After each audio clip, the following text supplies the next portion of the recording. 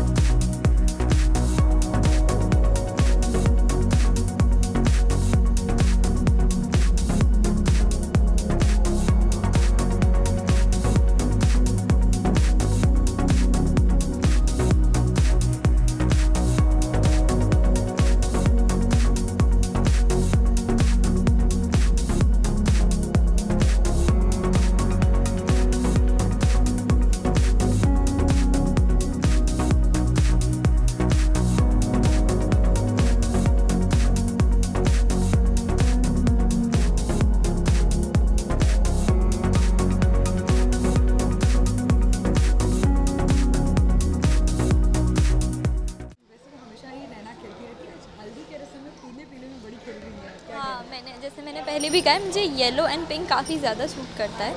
Yellow का मुझे orange भी। येलो और ऑरेंज मुझे ये शो करने के बाद पता चला क्योंकि मुझे बहुत सारे येलो ऑरेंज कपड़े मिलते हैं यहाँ पे। सो so, हाँ मैं ऊपर से नीचे तक पीली परी बनी हुई हूँ as you can see guys it's a Madhuri Dixit स्लोक from Hum Aapke हैं कौन? और किस तरह से हल्दी की रस्म मनाई जा रही है? uh, जैसे सबके यहाँ मनाई जाती है I guess so basically I am sitting और वो कुछ घास से हल्दी लगाने का ये है तो मेरे घर वाले सब मुझे हल्दी लगा रहे हैं I am sitting and enjoying my marriage ये ओके हर काम झाम में नैना और समी के बीच कुछ ना कुछ तो प्रॉब्लम आ ही जाती है। पापा तो गायब हैं गेस्ट भी गायब है। कहाँ चले गए सर ताई जी। So the only answer I have is Tai ji वो मेरी शादी चैन से होने ही नहीं देना चाहती। शुरू से वही सारे सारे अड़ंगे लगा रही हैं। अब जब वो नहीं है तो वो अपने घर पे बैठ के सबको वहाँ पे रोक रही हैं। मतलब वो मेरी शादी में किसी को आने भी नहीं दे रही I don't know what kind of problem she has with me हल्दी की रस्म तो आपके घर पे चल रही है तो ताई जी ने अपने घर पे किसके लिए रुका रखा है? कहीं वो खुद की तो हल्दी नहीं कर रही है। हो सकता है यार। प्रलय की शादी है वैसा कुछ I don't know I not invited लेकिन नहीं आई गेस ऐसा नहीं है। उन्हें बस ये चाहिए कि मेरी शादी में कोई ना आए और मेरी शादी अच्छे से ना हो। मुझे नहीं पता उन्हें मुझसे क्या प्रॉब्लम है, पर कुछ तो है। And she is not allowing any guest to come here मेरे पापा को तो रोक ही रखा है उन्होंने। मेरे पापा आने की कोशिश भी करते हैं तो वो उनके कान भर देती हैं और फिर वो नहीं आ पाते। ओके वैसे नैना आप कितना एंजॉय करी ये सारे सीक्वेंसेस शूट करने में? अरे बहुत अच्छा यू नो बिकॉज़ जब मैं पूरा टाइम नैना रहती हूँ तो काफ़ी सिंपल कपड़े वगैरह पहनती हूँ।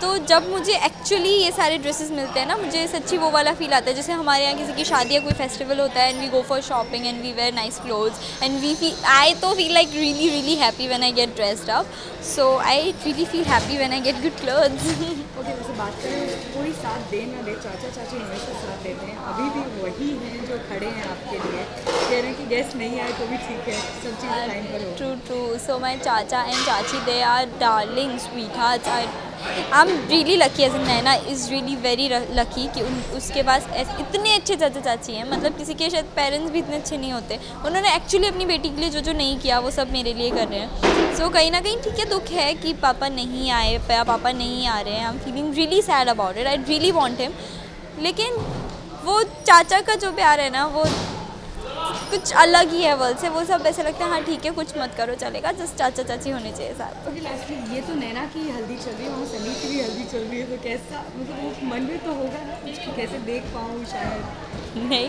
मेरे मन में ऐसा कुछ नहीं है नैना के मन में आएगा तो मुझे पता नहीं। आई डोंट थिंक सो ऐसा कुछ है क्योंकि शादी में सिर्फ़ दो ही दिन रह गए कल या परसों हमारी शादी है एज एन आफ्टर हल्दी। तो इतनी ज़्यादा बेचैनी तो नहीं होनी चाहिए। Thank you so much Aashi Madhuri Dixit sir come on हाँ सर अरे